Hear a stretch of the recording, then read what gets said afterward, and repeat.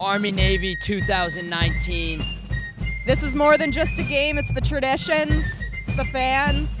This event right here is emblematic of what we all should aspire to to have future generations be about. That, that that's what this is about and that's why you look around here today. People from all across the country, they don't miss this. They don't miss this because it's representative of what their values are.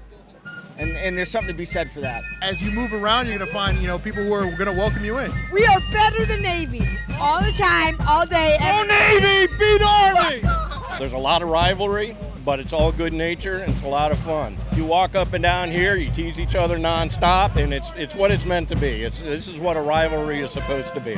I asked this guy to bring two bottles of bourbon. He brings one. We follow. I gave an order. We follow orders, or people die. You know what? You murdered all these people because all that's all the bourbon we got left. For America, I mean, shit. All these kids that are playing today and that are watching today, they're going to be the guys getting called to go to wherever Afghanistan, Iraq, serving our country.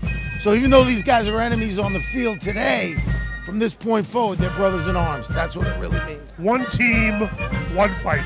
I support the Army as well, but Navy pays my son's tuition. So let's go, Navy. Go, Navy, beat Army. Look at the pecker on this, this girl's face. That's my pecker on her face. It's the only game that you're going to find here where at the end of the day they all stand uh, shoulder to shoulder with each other. And uh, you can't find that anywhere else. This game is the only game where you're going to see two teams square off and uh, where the entirety of both those teams are willing to die for the people that are watching the game. And that's the commitment they've made to America, and that's the commitment they've made to the American people.